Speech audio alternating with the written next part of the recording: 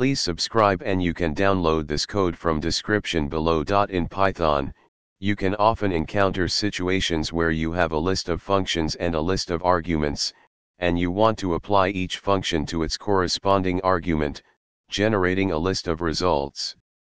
This can be achieved using Python's built-in functions and features. In this tutorial, we will walk through the steps to map a list of functions to a list of arguments in Python with code examples. Before we start, ensure that you have Python installed on your system. This tutorial is written for Python 3. In this example, the code example will produce the following output. Each function from the functions list is applied to its corresponding argument from the arguments list, resulting in a list of the respective function outputs. You can use this method to efficiently map a list of functions to a list of arguments in Python, which is especially useful in various data processing and functional programming scenarios. ChatGPT